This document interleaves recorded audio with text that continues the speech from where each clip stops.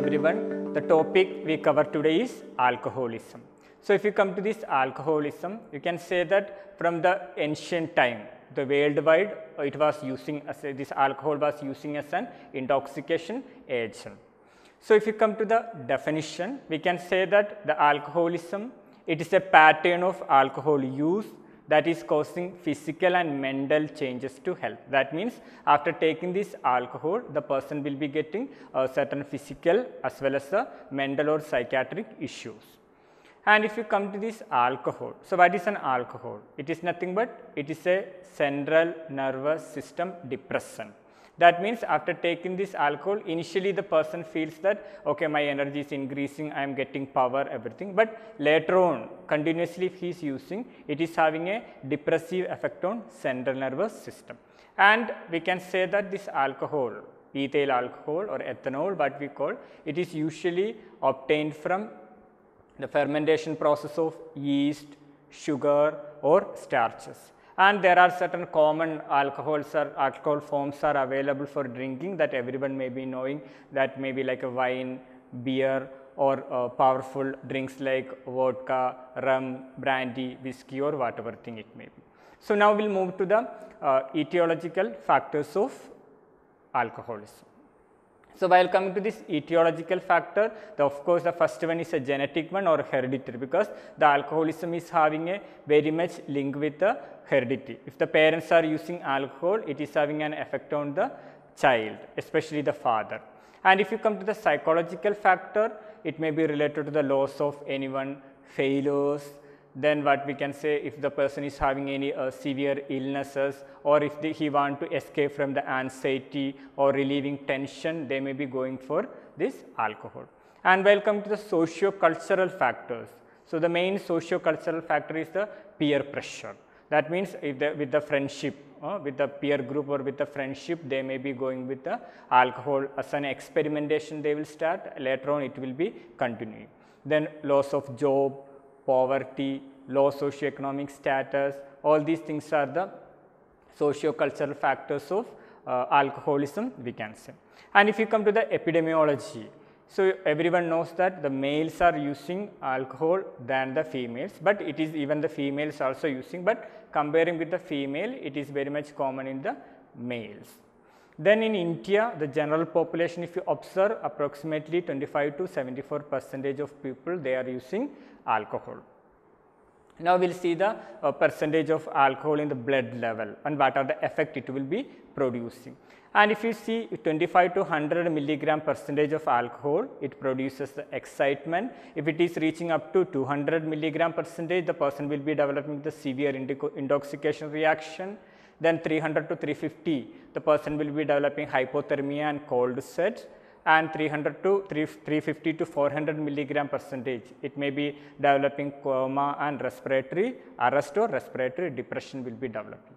And it reaches to 400 milligram percentage, there is a chance for even death also.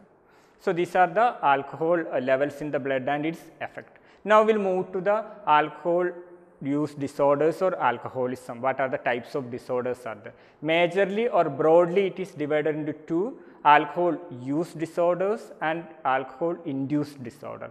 If you come to the alcohol use disorder, there are two types, the alcohol abuse and alcohol dependency. And the alcohol induced re, uh, reaction or disorders, it may be alcohol intoxication or alcohol withdrawal. Come to the first one alcohol use disorder, alcohol abuse. So, alcohol abuse is nothing but it is a harmful use of alcohol and it produces certain symptoms. And in the alcohol dependency, so what happens the person will be using for a long time so, the, there is a tolerance will be developing that means a person may need higher dosage and the person will be developing with a craving that means without alcohol he cannot live such a condition will develop and the dependency will be developing in this particular stage. Come to the next one alcohol induced reaction or disorder the first one is alcohol intoxication. So, the alcohol intoxication develop with the excess amount of blood in uh, excess amount of alcohol in blood and welcome to the withdrawal symptom the person will be going for a chronic uses and there are certain symptoms will be developing with a complete abstinence or immediately if he stops the alcohol. So, first we will see the alcohol intoxication. So, the alcohol intoxication will be developing within 10 minutes of intake of excess alcohol and the maximum or the peak level will be obtained by 30 to 40 minutes. We will see what are the symptoms will be developing. So, it may be like uh, inappropriate behavior, inappropriate mood, slurred speech, flushing of face, unsteady gait, then decreased attention or concentration, decreased consciousness in higher cases or higher level, it may be coma or death.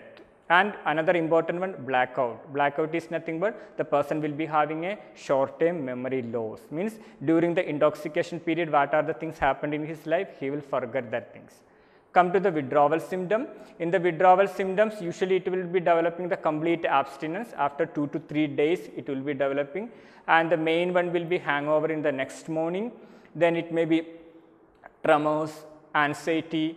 The major ones are delirium tremens, alcoholic seizures or rum fits what we call, then alcoholic hallucinosis will be developing especially auditory and tactile hallucination will be developing and the person will be developing with the insomnia.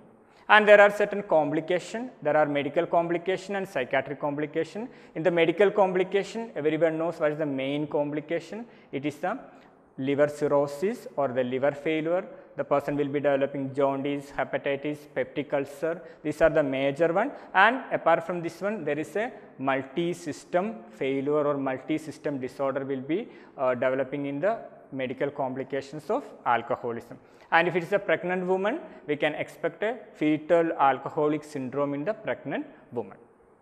Come to the psychiatric complication, so, in the psychiatric complication due to severe thiamine deficiency, vitamin B1 deficiency, there is the development of Wernicke's encephalopathy and Korsakoff syndrome. This is the important psychiatric complication of alcoholism. Now, we will move to the diagnostic evaluation. If you come to the diagnostic evaluation, we can say that psychiatric history collection, mental status examination to rule out the psychiatric another comorbid psychiatric disorder and all the blood investigation you can go for blood levels of alcohol. Come to the management. The main management is hospitalization and detoxification. So, the, from the person's blood, the alcohol level will be eliminated through the detoxification. So, we are going for a benzodiazepines. Diazepam is the best example of this one.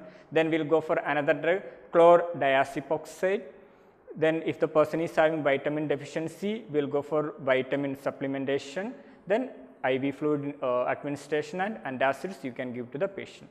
And another important management for the dependency or we can go for deterrent agent. The best example is the disulfiram. That is one of the important drug we are administering to the alcoholic patient. So, today we have seen regarding apart from this one we have some other one like uh, psychotherapy, behavior therapy, then uh, family therapy, marital therapy, uh, these are the another important uh, therapy we are uh, giving to the or providing to the alcohol patient. So, today we have seen regarding what is an alcoholism, what are the epidemiology, what are the uh, symptoms, diagnosis and management. So, that is all for uh, today's class. This is Vishan signing off till we meet the next class. Thank you.